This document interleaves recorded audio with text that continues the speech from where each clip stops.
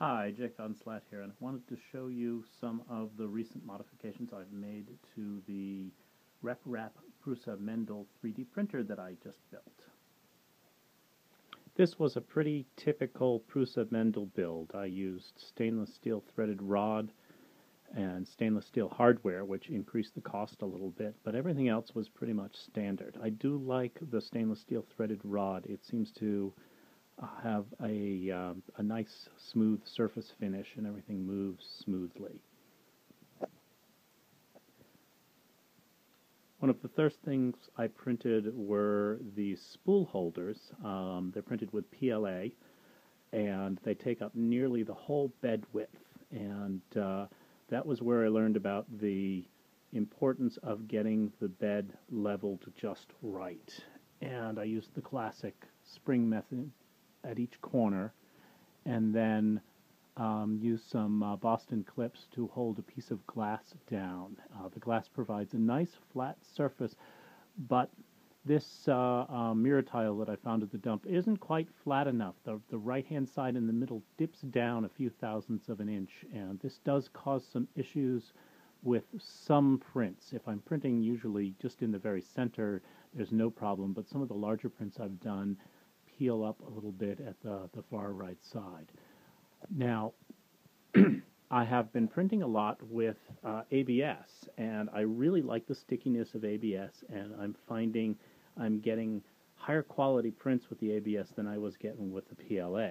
Uh, now, the components of my printer are all printed with PLA. I bought them on uh, eBay uh, last year, and what I found is that when I did a lot of printing with ABS on a printer made of PLA, uh, the heat soak of the extruder um, began to melt the X carriage. So one of the key modifications that I've made to the printer is I used some of the Y carriage bearing mounts here, you can see, and then a uh, piece of aluminum, and then I custom milled a bracket, an aluminum bracket, to retain the extruder.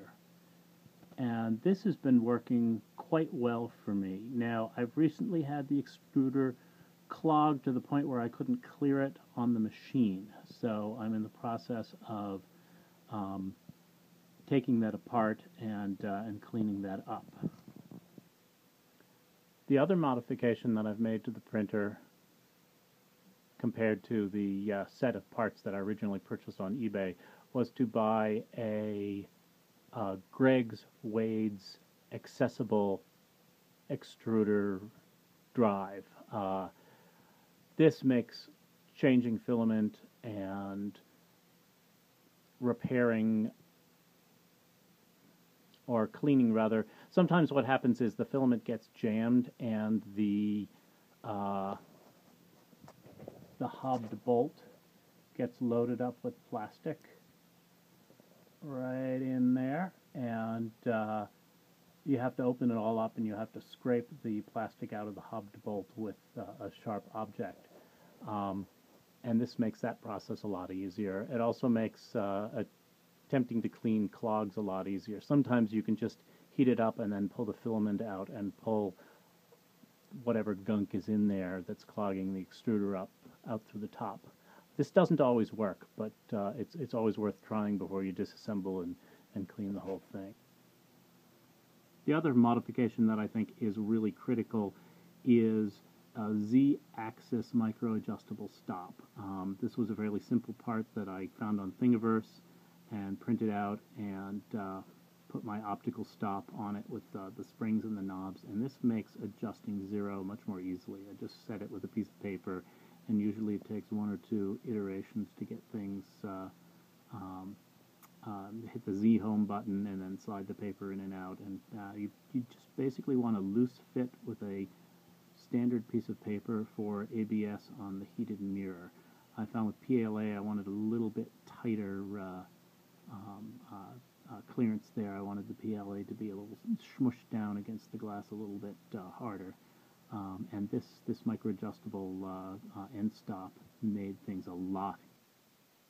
The final mod is this marble, I think it's a stone for kneading dough in the kitchen. Um, it's just a marble plate about 2 feet by 18 inches, and the machine is attached to it with double sticky tape. And this holds everything absolutely square.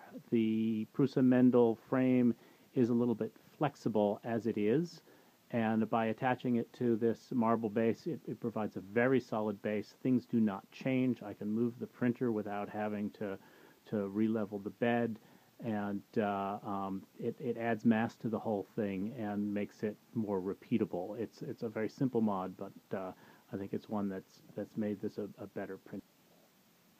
Finally, a fan on the uh, Arduino controller board is really important. The heat sinks are quite small, uh, and uh, blowing air directly on them um, definitely improves the performance of the machine.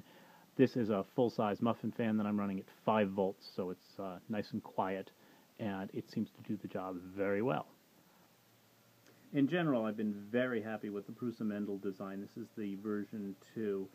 Uh, though I think the next printer I build, I'm going to do the iteration 3, which is the one with the um, uh, aluminum panel that uh, supports the x-axis. Uh, it has some uh, rigidity improvements, and I do have a CNC milling machine, so it's going to be trivial for me to make those parts. Um, this is Jake von Slatt. Thank you very much. See you next time.